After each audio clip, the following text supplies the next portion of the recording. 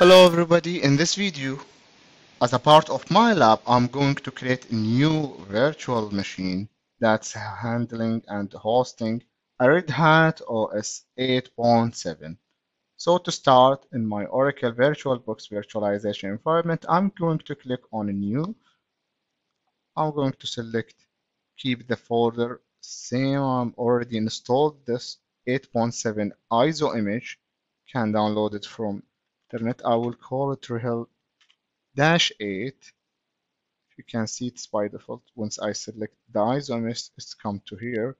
So let me do next. Keeping this setting as it's with the default device. This for host name or other so I'll keep it or this uh, username for guest installation I will keep it as its CPU during this installation especially I will do the um, use the maximum green available. That will allow me to do a quick installation instead of waiting. Later on I may keep it one that will not lead the host to be exhausted with the high CPU utilized especially this just for a lab. Here I will keep it as it's 2 GB disk I will just uh, make a 60 GB it will be VDI so it will not be I will not do pre-allocating full size so it will be just whatever I really use it will be configured here or it will be really used in the disk. I'll click next. This is the machine yes. It's the ISO this the details. And I will click finish. Once you click finish machine will be auto started and will be powered automatically. Once it's powered I do advise you to change here. Yes change up and down as much as possible to avoid the installation because by default when you keep it it will go to the installation and this installation will go to quick a kickstart sorry. It's kind of a quick installation. It's called kickstart there's a predefined configuration file already so it will be silent without a Gaussian selection. Later on definitely you will be able to change all these settings. However it's too buffer to to it's too it's uh, preferred to select everything right now before installation. So if you can see here down press tab for full configuration option for the menu so I will press tab in this installation here you will see this configuration file. Let's start with kick s. If you can see this one. So I will remove this.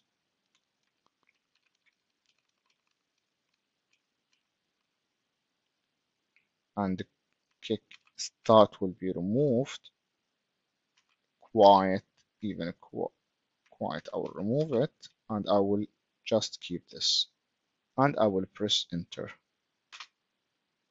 now it will load the drivers and it will promote me the GUI installation. If you didn't or if you missed this, then it will be silently and quietly installed using the Kickstart configuration file. It will be fine. You can change everything later on. Uh, for me, for this lab, I do prefer to use the, the GUI installation so I can explain the basic installation uh, uh, that we will do during this installation. Let's wait till this loaded being completed. see. see here starting installer. We'll see this installer now.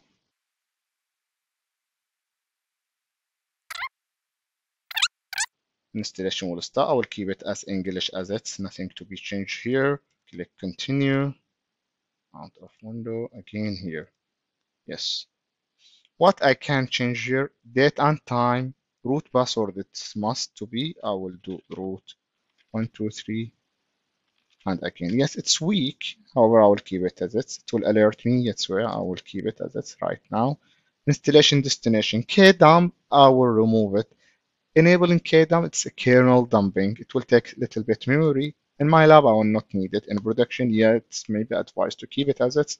However, right now, I will remove it from my lab just to save the memory. Network configuration, I will do it in my post installation. Software selection, this is by default coming with server GUI. This is the yeah, most and will give you all GUI needed. Mostly, yes, we installed using this.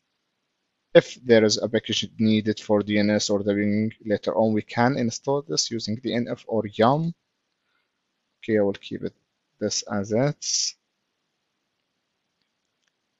The needed thing, it will be in the You can see the installation destination. Here where the configuration of your storage. By default, it will go to the automatic. In this lab, let me use the custom and show you how I will customize the storage. Click on custom and select the disk. Refresh. Rescan the disk. Okay. So if you and you click in done, it will take you to another window. Here, you have to create your partitions for installation. By default, it will go to the LVM, LVM thin provisioning and standard partitioning. All these can be discussed in the storage of Linux. LVM, it's logical volume manager. I will use this, easy to manage, very preferred. I will click plus. Here, the minimum installation is a three selection three mount point. The root one, the slash boot, and the swap one. So let me use this. Start with the swap. Swap is the memory, or I can start even with the slash boot. Capacity here, I will do 200, 250 as per the documentation or recommendation. This is the minimum. In the slash boot, it will be bootable file will be stored there. Minimum is 250 M. Put it like this and add this mount point. It will appear here. Maybe byte, megabyte. It's maybe byte here. Standard file device is XFS. Yeah, I can use it. Yes, I can use it. However, I will not change it. Right now, I'll keep it as it's.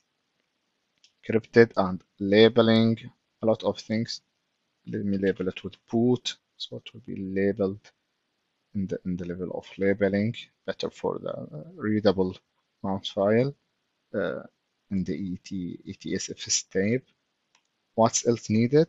Swap and root.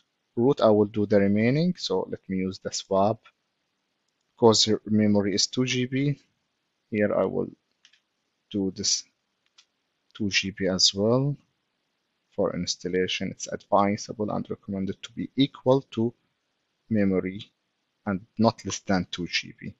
So even more I can do it if I'm going to increase the memory later. However, I can start with 2 GB. At this point, swap is a swap. It's LVM as well by default come. I can change it to be a standard partition. However, yeah, again, LVM is advisable and recommended. Let me change this port as well to LVM. By default, it come like this. We'll see if it's there is any error or things will come. So swap, swap. Let me label it as well. So it will be labeled, and the remaining you can see we have available 57.75. I will add all these to be in the root. Shall I do slash home slash var? No, it's not needed. Yeah, it's better and advisable that you segregate this to avoid any uh, uh, storage uh, issue with the root. However, because it's in my lab here, it will be advisable to have a simple and minimum installation mount. So add without storage and see automatically it will take all remaining disk. That's it. Yes, that's it. I will click done here. Checking storage, press check details.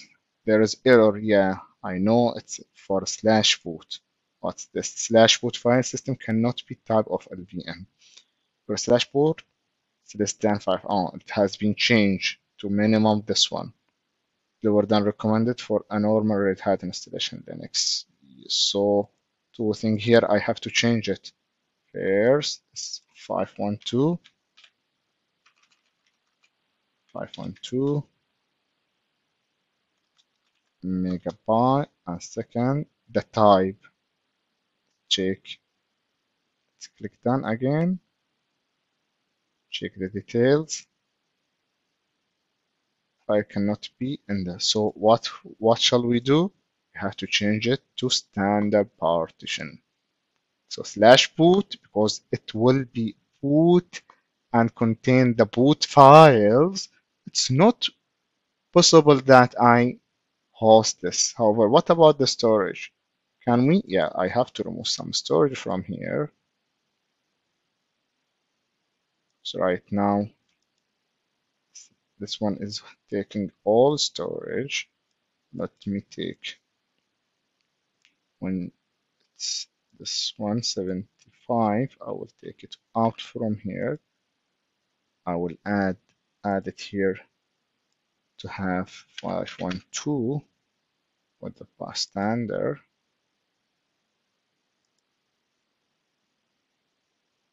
Again here I will add the 5.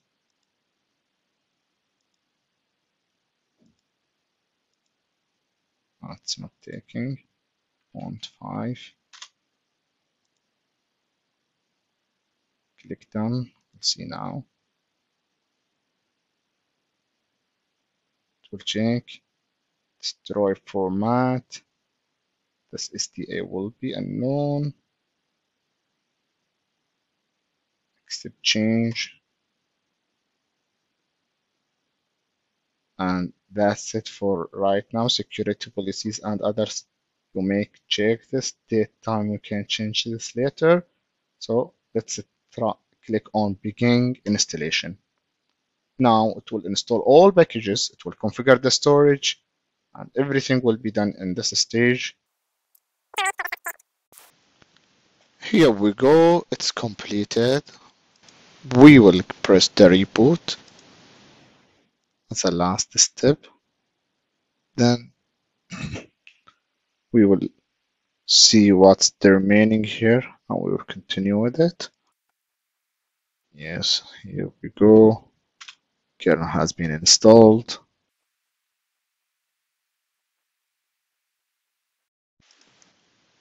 Alright, here three steps is missing. Licensing agreement, we have to click and accept. The Hero license. You may go through it if you would like. Subscription manager, if you would like to link the system with the portal of subscriptions a lot of advantage of this. However for my lab I don't need this advantage. User creation you may create a new user. Let me click finish without to create a user and see how this will be gone let's see how it will be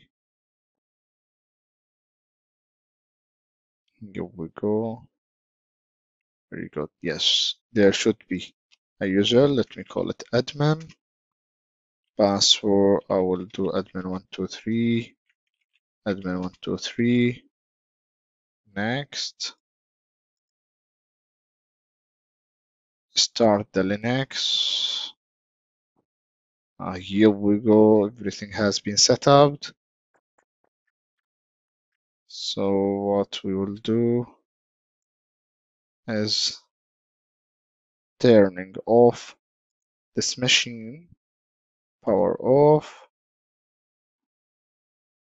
how we will do the post installation setup later in another video thank you for watching how to install RHEL 8 and see you in another video